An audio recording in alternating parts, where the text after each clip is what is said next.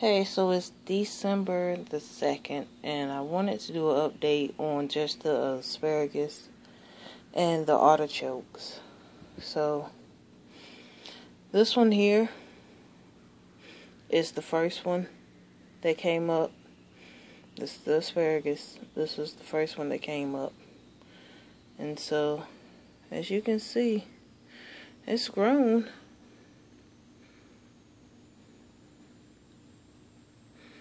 Yeah, so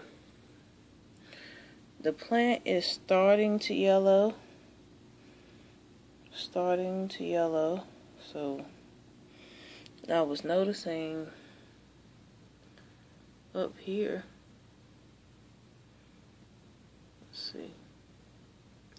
Right there on that one there.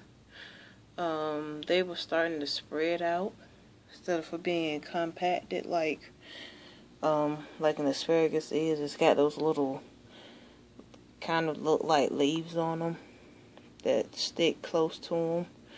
Well, these are starting to spread out um, at the top, so I guess it's getting ready to start ferning out. I don't know what the proper um, terminology is for it, but uh, yeah. It's still doing good though. It's still alive. So I've actually got all of my asparagus still. Here's uh another one here. Let's see if I can move. This one here is the one that did not put out one. Or is it the one that did? Wait a minute. No, that one has one. There it is right there. That's that one. That one has that one there. This one here is the one that has not gotten an asparagus on it yet. And it's starting to yellow a little bit. Um, so I don't know. But 4 out of 5 is really good. So I'm happy with it